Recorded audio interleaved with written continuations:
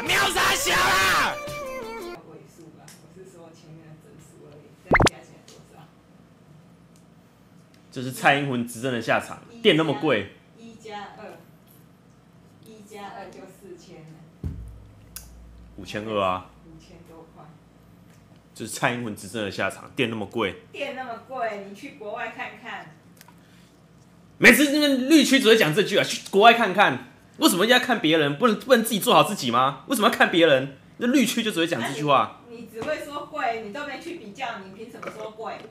啊，人家国外经济怎么样，台湾经济怎么样？你拿这个来比啊？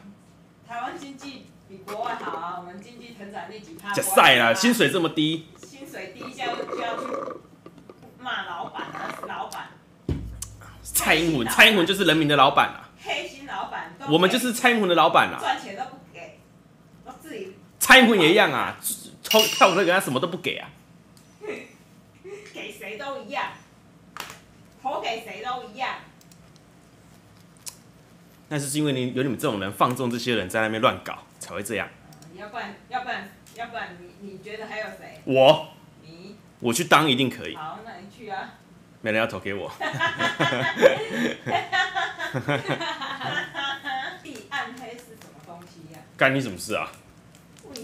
暗黑是手游吗？暗黑就是蔡英文呐、够黑心的，这种偏激人物，哪有偏激？我讲的是事实，不然我你觉得民进党做的很好吗？我就问你啊，哦，要不然你看谁做的好啊？你投给他啊。好啊谁你说啊，谁啊？我觉得柯文哲，我觉得柯文哲会做的比他好。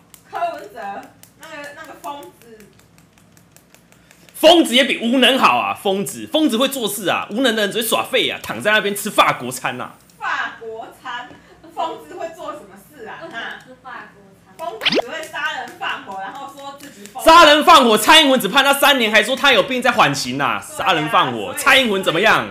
所以、啊、你还敢讲啊所以疯子，疯子就是可以有有许多的借口。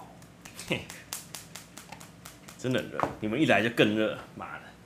那你呀、那么胖，是你好不好？这么激动，自己要激动的怪谁啊？自己在那边讲说什么电费很贵的，电费你不会上去踩发电机啊？